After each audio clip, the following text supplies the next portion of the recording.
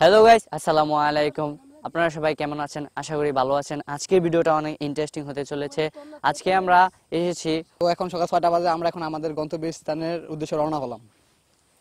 তো এখন আমরা আমাদের গন্তব্যে যাচ্ছি। তো রাস্তার মধ্যে যা যা দেখি তো আপনাদের কাছে সেগুলো তুলে ধরার চেষ্টা করব। তো পুরো ভিডিও জুড়ে আমাদের সাথেই থাকুন।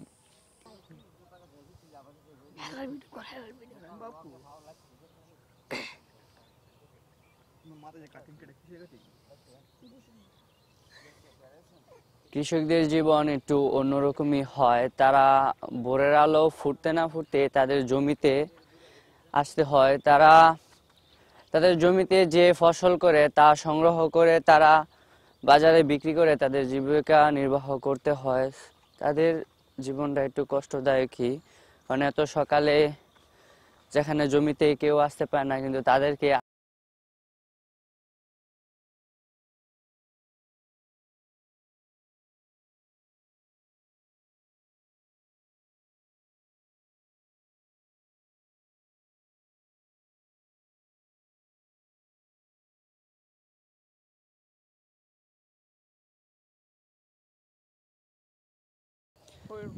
আমরা এখন চলে এসেছি এই যে একজন ব্রাজিলিয়ান ফ্যান এই যে Neymar fan Neymar junior.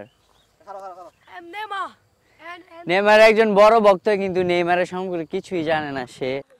এই যে এই জমিটার মধ্যে এখন নতুন বীজ বোনানো হয়েছে। এই যে একটি জমি দেখতে পাচ্ছেন এটা হচ্ছে গ্রাম্য ভাষায় বলে জ্বালা। এই যে এটার পরে এটা নিয়ে একটি বড় জমিতে নিয়ে লাগানো হবে, তারপরে ওইখানে ধান তৈরি হয়। এটা হচ্ছে একটি পদ্ধতি।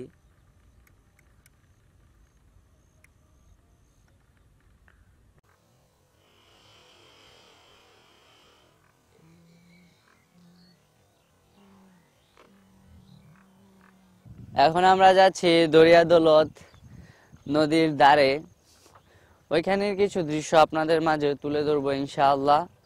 এই যে এখন ভাইবাদা নিয়ে যাচ্ছি তারা বলে কি কাজ আছে? এই যে আমাদের সাইফুল ভাই।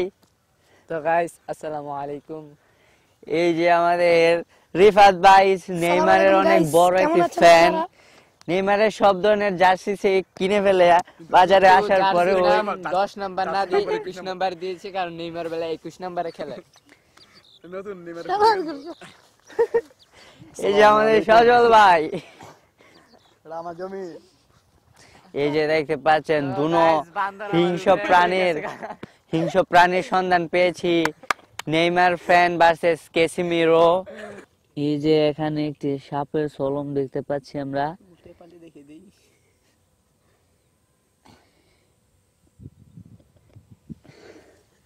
দেখে দে। সজল ভাই, সে কিন্তু সাপের সলম নিয়ে সাইকেলের নিচে দৌড়াদৌড়ি করতেছে।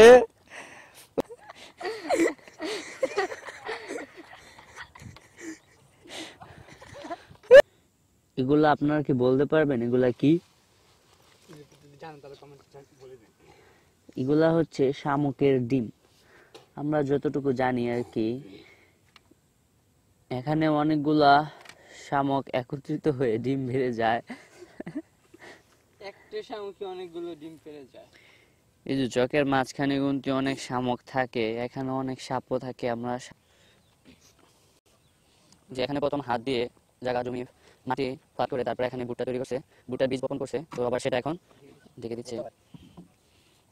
এই যে এটা পুরোটা হচ্ছে দাদার ক্ষেত অনেক বড় বিশাল ক্ষেত।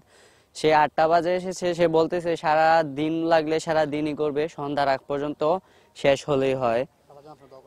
তার জন্য, দাদার জন্য আপনারা সবাই দোয়া করবেন।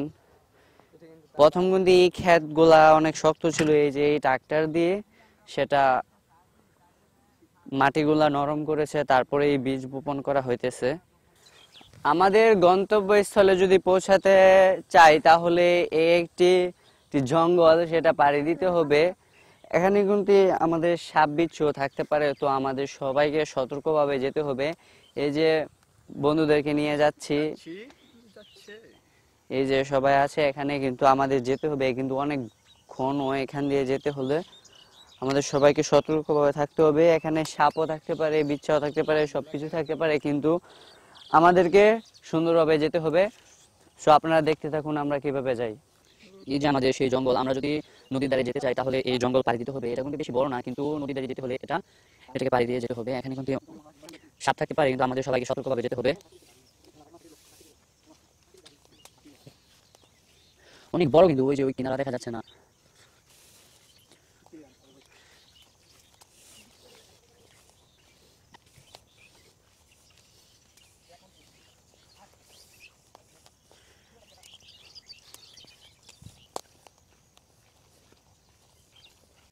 এই যে বাইবাদার নিয়ে এখন আমরা এটার ভিতরে চলে এসেছি। আমাদের খুবই সতর্কের সাথে এগুলো পাড়ি দিতে হবে কারণ নিচে সাপ থাকতে পারে। এই যে আমাদের আমরা আছি এখন পাঁচ ছয় জন আছি। এটার ভিতর দিয়ে যেতে হবে আমাদের। এই জায়গাটা অনেক ভয়ঙ্কর অনেক ডেঞ্জারাস এই জায়গাটা আর অনেকক্ষণ হচ্ছে আমরা এইখান দিয়ে হাঁটতেছি। প্রায়- হুদিস পাচ্ছি না আমরা। প্রায় পনেরো থেকে বিশ মিনিট ধরে আমরা এখান দিয়ে হাঁটতেছি কিন্তু এখানে থেকে এখনও বাইরে হতে পারে নাই। এই জায়গাটা অনেক ডেঞ্জারাস মানে অনেক সাপ বিচ্ছুর অনেক ভয়। কত ঘন দেখতে পাচ্ছেন? তো এখান দিয়ে আমরা কীভাবে যাব? সজল ভাই ব্যবসায়িক সজল ভাই যদি কিছু বলেন এখান থেকে তাড়াতাড়ি পার হওয়ার উপায় বলেন তাড়াতাড়ি। আমরা যাচ্ছি এদিক দিয়ে সরো। এই যে সজল ভাই আমাদেরকে পথ দেখিয়ে নিয়ে যাবে এখন। শত কষ্টের পরে আমরা এখন সফলতা পেয়েছি। মানে রাস্তা খুঁজে পেয়েছি। রাস্তা খুঁজে পেয়েছি। সজল ভাই কিন্তু আমাদেরকে এখান থেকে বার করে দিল। আলহামদুলিল্লাহ অনেকক্ষণ পরে আমরা নদীর ধারে পৌঁছাতে পেরেছি। অনেক বড় জঙ্গল এটা। এই যে সজল ভাই আপনাকে অসংখ্য ধন্যবাদ। ঠিক আছে ভাই সমস্যা নেই। ভাই আমরা যে হিরো। আলম আলম। আপনি যে জঙ্গলটা দিয়ে আসছেন আপনার অনুভূতিটা কি আমাদের দর্শকদের সাথে একটু শেয়ার করেন? ভাই আমার অনুভূতিটা পুরাই অস্থির।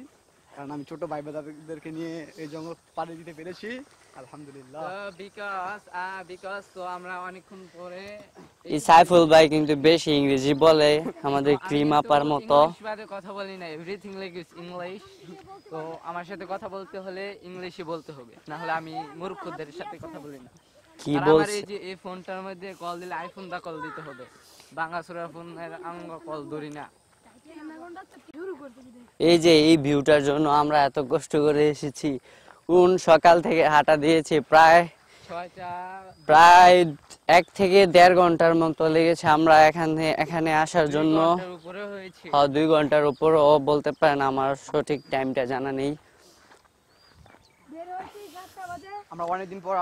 আমাদের এখান দিয়ে আবার ব্রিজ পাড়ি দিতে হবে বাট আমরা চাচ্ছি না যে আর বেশি দূর যাইতে কিন্তু ভিডিওটা অনেক লং টাইম হয়ে যাবে অনেক বোরিং লাগবে আপনাদের কাছে। এই যে সজল ভাই কিছু ঐতিহ্যবাহী কিছু জিনিস পেয়েছে।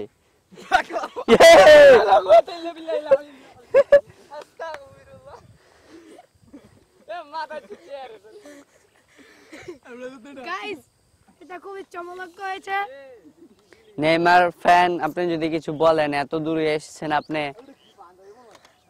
আমি আপনাদের সমান না ভাই। এটা আমাকে আমাকে একটু সম্মান দিয়ে কথা বলবেন কারণ আমি কোনো খেলোয়াড় না।